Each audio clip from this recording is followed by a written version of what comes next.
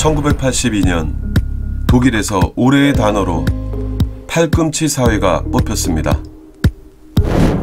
옆 사람을 팔꿈치로 밀치며 앞서가야만 살아남는다는 의미입니다. 물론 자본주의 사회에서 경쟁은 피할 수 없습니다. 그러나 사람들은 1등을 해도 만족하지 않습니다.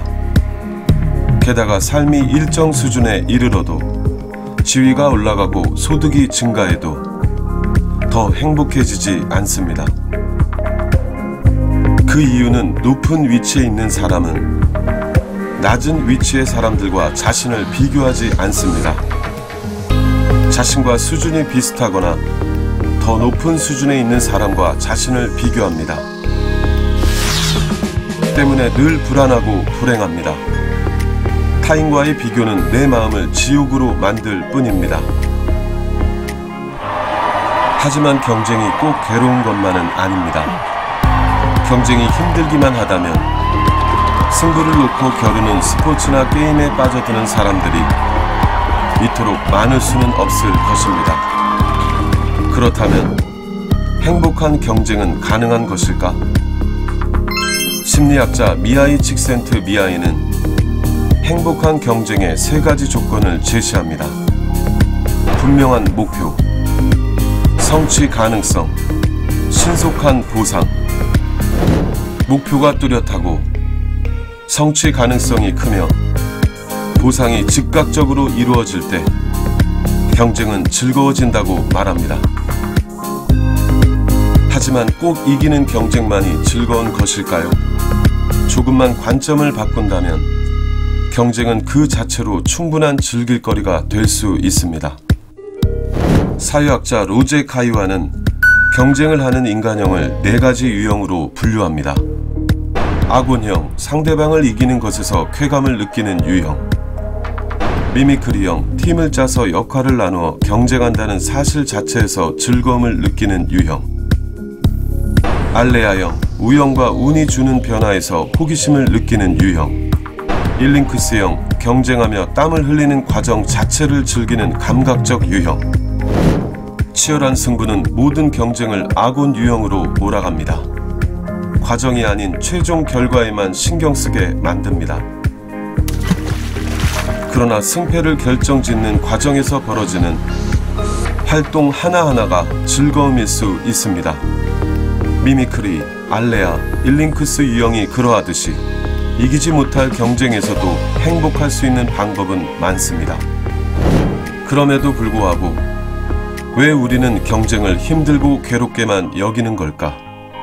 법률가이자 뛰어난 포커 선수인 어퍼스톨리코는 그 이유를 좁은 시각에서 찾습니다. 그는 경쟁을 하는 인간형을 세 가지 유형으로 구분합니다. 앞뒤 가리지 않고 이기려고만 하는 호전형 인간. 비교를 통해 자신을 확인받고 싶어하는 경쟁형 인간. 최종 목표에 집중하며 매 순간 이기고 지는 것에 개의치 않으며 필요하다면 일부러 상대에게 져주기도 하는 전략형 인간. 이 세 가지 인간형 중에서 결국 최종 승리자는 누가 될까? 어퍼스톨리코는 전략형 인간만이 최종 승리자가 될 수 있다고 말합니다.